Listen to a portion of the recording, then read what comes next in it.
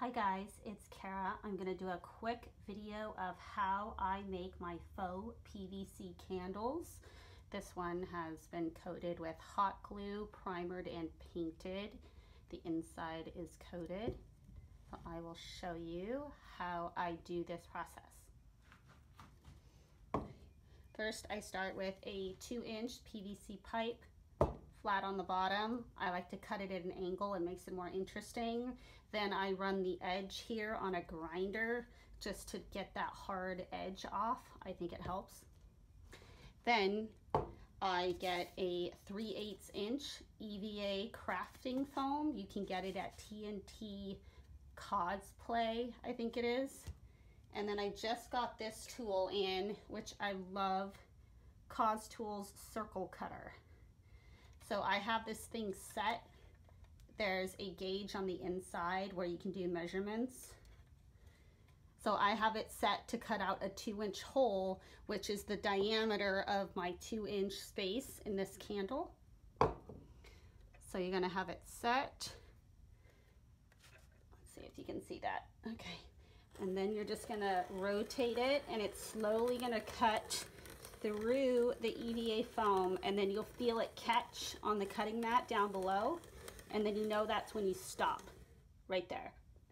Okay, you're gonna pull it out, you back it up so when you set it down you don't dull your tip, your blade.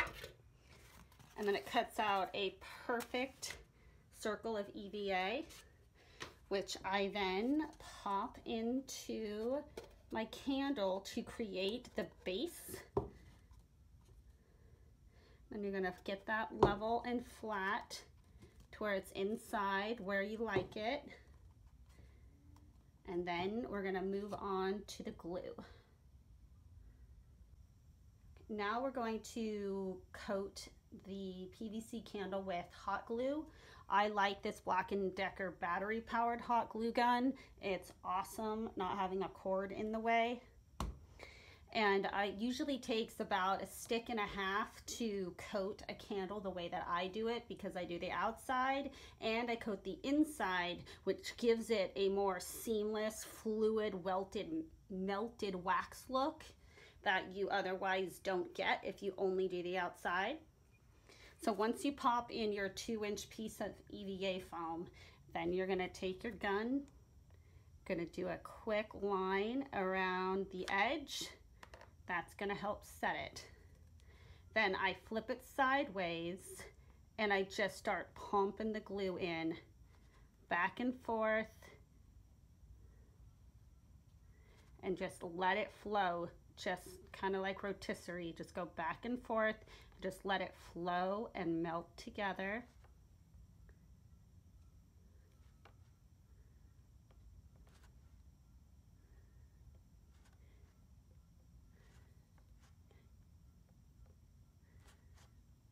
Okay, already out of glue.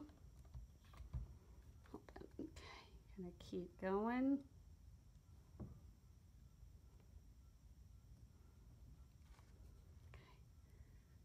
gonna go back and forth. You need to get full coverage. It will all just melt together, okay? Then you're gonna go on the inside and you're just gonna go around in a circle. Around and around. Until it is all coated. It will flow out and become level. That's what you want. Okay so that's all gonna level out. Then you're gonna start at the top. And you're gonna go around and then you're just going to start drawing do things in odd numbers levels. Okay you want to hit that edge so that it runs inside top and down. And you want to make sure you get it everywhere. And it's slowly going to start because you want it to ooze into that inside so that becomes seamless and it looks more realistic.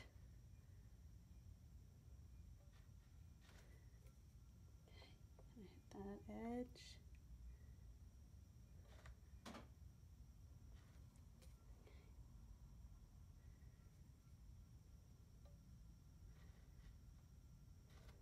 Don't be shy with the glue. Just go for it. I buy hot glue sticks by the case now.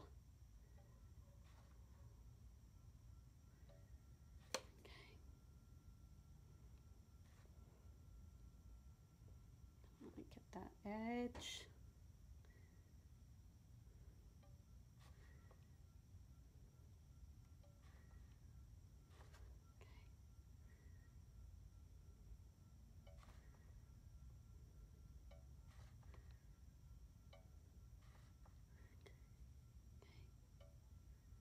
Okay, that's gonna start melting down into itself. Where, okay, and then you're gonna, you wanna add extra drips, you can add more on top to build more layer.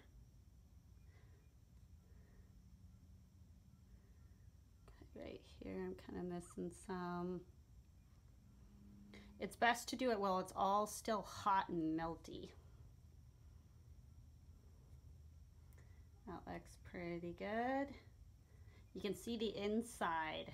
It's like all waxy looking. It's gonna give you much more of a realistic effect.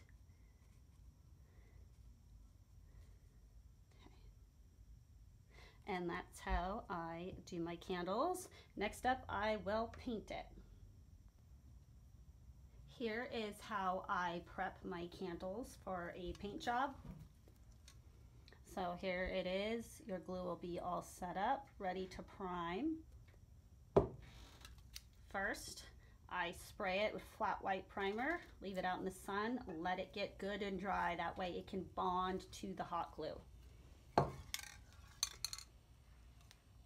Then for color, I spray this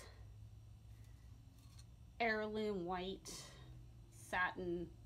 It's a very good off-white for a candle. So here's one that's painted and dry. I'll show you how I glaze it to give it more of an antique look and make all of the drips stand out.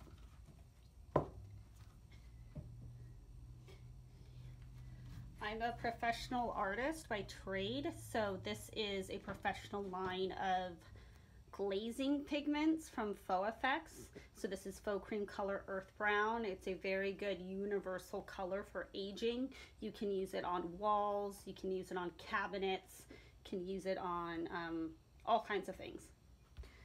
Okay.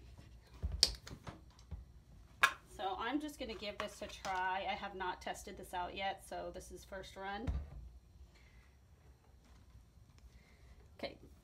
These are Pierre pointed brushes for doing cabinet glazing.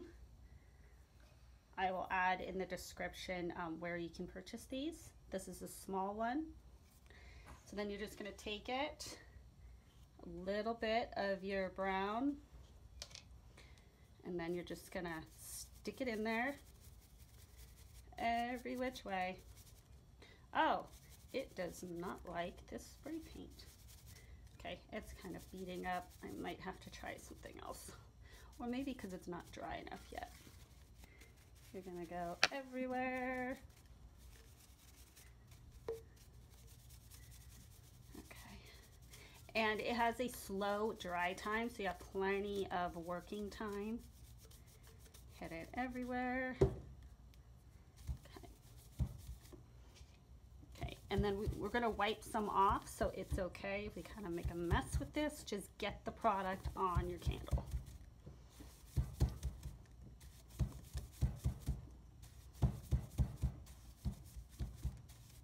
Okay, so get it all inside. Okay, then we will take a rag and we can wipe it down if you want a cleaner look. And then it will stay inside the drips and accentuate that shape. Or you can leave it heavy everywhere if you want a more haunted look. I like it to be more subtle, but yeah, earth brown is the perfect color for a realistic candle. Okay, and we're gonna wipe through the center And if you have way too much pigment, you can always wet your towel also. That looks pretty good. Now because I was touching, I can feel it's getting tacky. It's almost dry. But if you want to add more, you can just go back in and hit more spaces, almost in a dry brushing manner. And then try get rid of any fingerprints that you had from holding it still. I like to highlight that edge. To me, that looks good. area right there. Okay. Okay. Um, another method you can use for moving glaze around that works really good is it's called a Leon or Neon Leon. It's this little tool. This is what I learned in trade school for faux finishing. You use this for moving glaze around. You can use it on your walls. You can use it on your tombstones. You could use it on your candles. Once you get your pigment in there, it helps smooth things out. But this brush actually did a pretty good job. I don't need that, but that's a very handy tool to have. But so here we go. Looks much more realistic. So next I will drill a hole through the center and I will um, hook up my LED candle. For the next part, I will get my drill and I will find center and that will drill through the hot glue and that EVA foam and that'll give me a little hole where I can put my wiring through. Now, um, I was not happy with the plastic tips that came on fake fake candles. I just didn't like that. I wanted something that had more movement to it and something that was larger. So I sculpted some various flame shapes out of monster clay I made a silicone mold and casted them because I wanted something that's going to show like a movement of fire. So um, I made some of my own tips and then I drilled a hole the same width as the LED and then I popped it in there and hot glued it. So then what I'm gonna do is put that through the hole that I made two. Okay. And then for a more realistic look, I'm only going to insert it like partial way because I like the black because it looks like the wick. I noticed that no faux candles show the wick. It's always just the flame coming straight out of the base. And I think that leaving just that little bit makes it look more realistic. And I just like the larger tip versus the smaller, just little plasticky ones that you can get. Or the tea lights, I think this just looks more custom and more realistic. So next I will hook them up.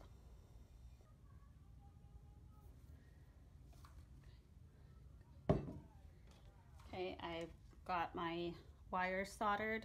Now I'm gonna put one of those heat shrinking tubes over it. Can I protect it? There in the middle. Got my heat gun.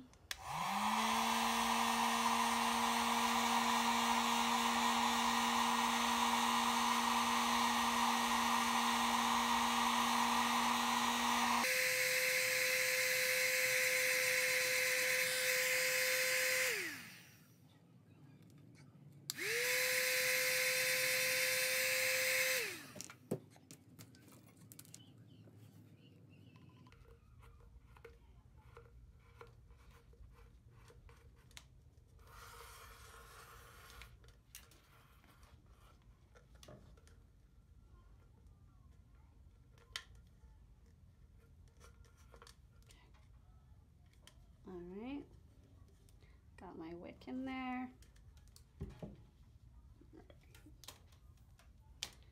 Oh.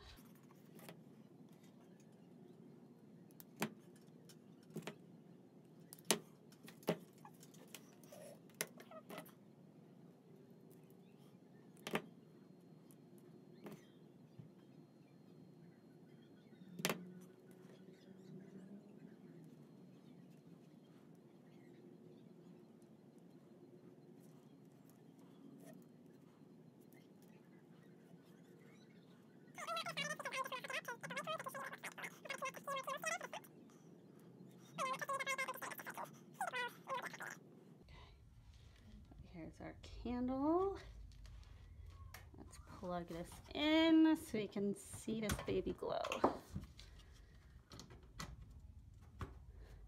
Ta-da! We have a flickering candle. Let's go plug it in at the dark and see how it looks.